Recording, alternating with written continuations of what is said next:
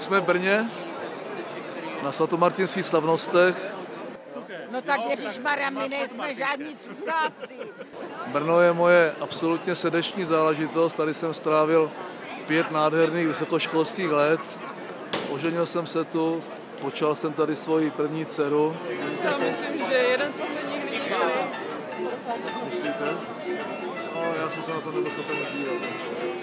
A i kandidát na prezidenta si musí vystát frontu. Tam si tady to, to vypadá strašně, zároveň jako to vypadá nezdravě i zdravě, takže by to mohlo být dobré, aspoň částečně.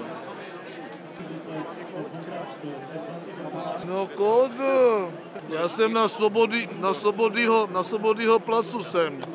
Jo, díky, že voláš, to je super. Měj se. Měj se hezky. Čau, čau, čau, čau, čau, ahoj. Říkám, on s váma bude chtít určitě mluvit. Jo, Karel, Karel Jarušek, můj kamarád. A ty jsi docela dobrý fotbalista, teda výborný. Naprostá ikona. A kódnu Kloupa. Kódnu Kloupa. Do Brna se strašně rád vracím a cítím se tady dodnes jako doma.